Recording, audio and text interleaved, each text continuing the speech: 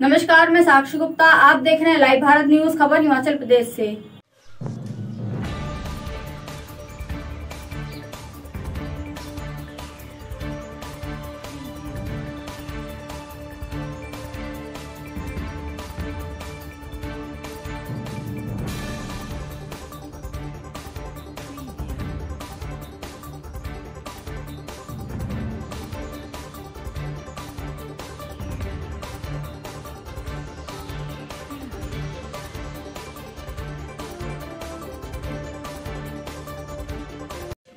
बाबा बालकनाथ का मंदिर 22 साल पुराना है। ये हमारे पिताजी ने यहाँ पर सपने में दिखाई दिया था कि मैंने आपके साथ आने में रहना इसलिए हमने इस मंदिर का यहाँ पर विधि रूप से स्थापित किया और इसके हर साल भंडारा दिया जाता है, जो हम अपने पर्सनल उससे देते हैं।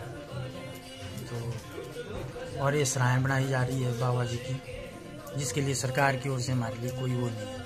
हम अपने जो है पर्सनल सराय बना रहे हैं। ना किसी से इससे कोई वो लिया गया है, दान मतलब श्रमदान तो ये बाबा जी की बाकी बाबा जी की कृपा है।